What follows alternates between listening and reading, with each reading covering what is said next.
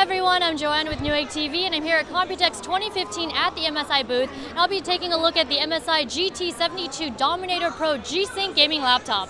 This laptop features the new Broadwell CPU and the entire MSI gaming laptop line now has the Broadwell chip. Also, they're all available at newegg.com.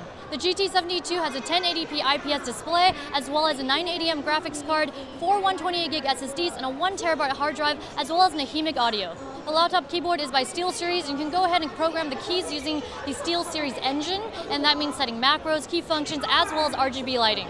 Once again, the GT72 features G-Sync and it's already available at Newegg. Check out newegg.com for more info. Leave a comment below this video to let us know what you think about the product. Don't forget to hit the like and subscribe buttons and watch our other Computex 2015 videos and I'll see you next time.